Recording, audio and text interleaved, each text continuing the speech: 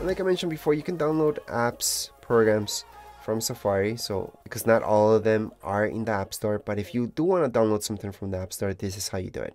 So just open up your App Store.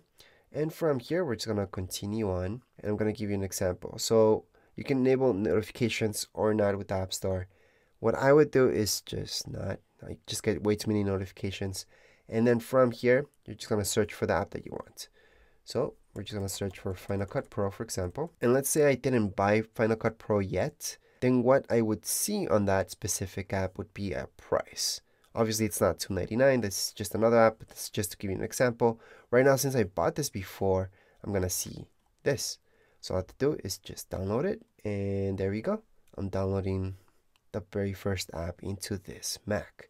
Now, if I want to download any other apps, such as, let's say, compressor, I can just search up for it. Again, something I bought before. I'm gonna go on and download it. Do want to mention that there's a bunch of free apps right here in your app store. But as soon as the app gets downloaded, you're gonna see this. Open. You can also find any apps that you may have downloaded in Finder. Once you open up Finder, you're gonna see applications. Click on that, and then you're gonna see the apps here. So I can see Final Cut Pro is still downloading. However, compressor fully downloaded, so it's right here. And that's how to find any apps that you have downloaded into your Mac and are fully installed.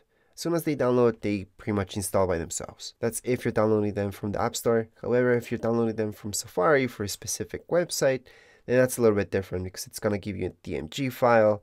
Just click on it, just follow, just click next, next, next, next, basically. And what usually happens during this process is that whichever app you download, it's going to be added into your applications folder. It just moves it onto there and that's it. That's how you guys can do that. So that's how to download apps right here on your Mac. Other than that, that's it. I showed you all the basics that you need to know for your Mac just to get you started.